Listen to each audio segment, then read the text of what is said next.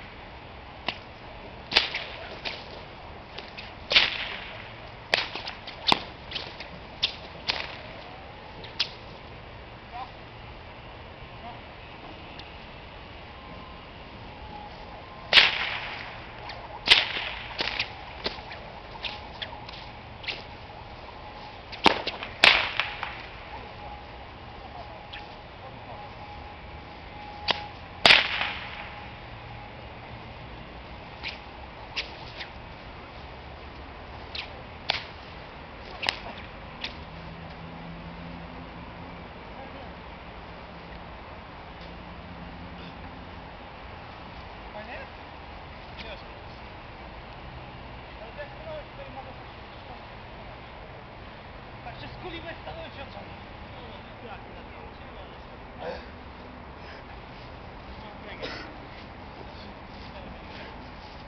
Tak? Tak? Ale ja nie umiem tak. tak?